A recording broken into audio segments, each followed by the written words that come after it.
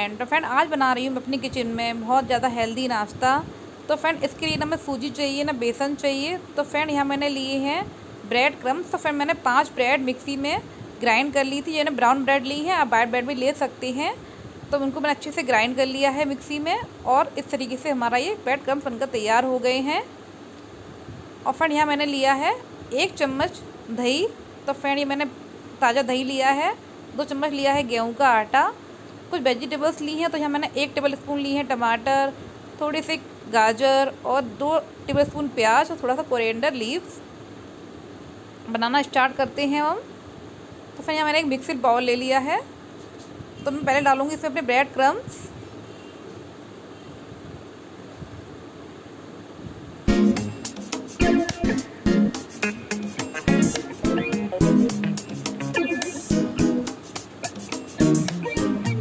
मैं डाल दिए सारे पैकेट मैं डालूँगी इसमें, गेहूँ का आटा। और फ्रेंड इसमें सब कुछ हेल्दी है, गेहूँ का आटा भी है। अब मैं डाला इसमें दही। और मैं डालूँगी इसमें टेस्ट के अकॉर्डिंग सॉल्ट अब इन्हें अच्छे से मिक्स कर लेंगे हम सबको। इस तरीके मिक्स करना है हमें। अब फिर मैं डालूँगी इसमें तो फिर मैंने पानी डाल दिया है। अब हमें देखना, हमें थोड़ा कितना गाढ़ा रखना है, हफ़्ते में पानी डालते रहना है, ज़्यादा पतला कुल नहीं करना है। तो देखिए, मैं इस तरीके से, इसे पानी से मिक्स कर रही हूँ। और फिर बैठना तो बैठ थोड़ा पानी ज़्यादा ही सोख कर लेती हैं। तो देखिए, इस तरीके से मैं मिक्स करती जा रही हूँ। और हमें बहुत ज़्यादा पतला घोल नहीं चाहिए इसके लिए। बस अच्छे से हमारी ब्रेड बाइंड हो जाए। देखिए फ्रेंड अच्छे से मैंने घोल तैयार कर लिया है। इतना गाढ़ा घोल हमें चाहिए, चीले बनाने के लिए। अब मैं डाल दूँगी इसमें सारी वेजिटेबल्स तो पहले मैं डालूँगी इसमें टमाटर।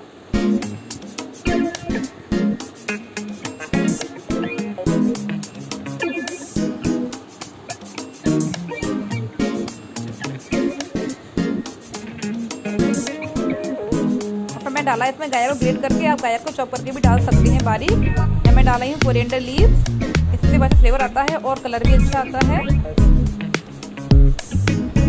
अब मैं डालूँगी इसमें हाफ़ टी स्पून लाल मिर्च पाउडर और डालूँगी वन फोर टी स्पून गर्म मसाला। अच्छे से मिक्स कर लेंगे हम।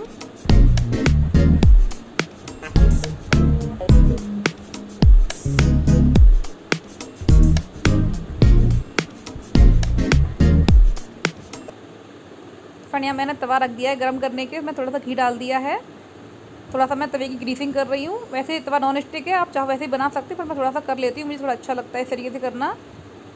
तो मैं अपना सारा घोल डाल दूँगी थोड़ा सा इस पर देखिए फ्रेंड फील हमारा बनकर तैयार हो गया है। थोड़ा ढक के रख दिया था मैंने। अगर फ्रेंड थोड़ी सी टिप है, अगर आप चीले नहीं बन पाते अच्छे तो आप सूजी डाल सकते हैं दो चम्मच सूजी मिला सकते हैं। अगर आप चीले अच्छे नहीं बनते, अच्छे नहीं फैल पाते हैं तो मैंने नहीं डाली है, आप डाल सकते हैं, आपके चीले नहीं बन पाते हैं तो तो फ्रेंड चीला हमारा बनकर तैयार हो गया है।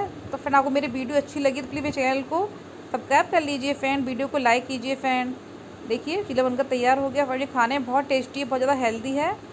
आप ज़रूर ट्राई कीजिए वीकेंड पर तो मिलते हैं फ्रेंड नेक्स्ट वीडियो में। बाय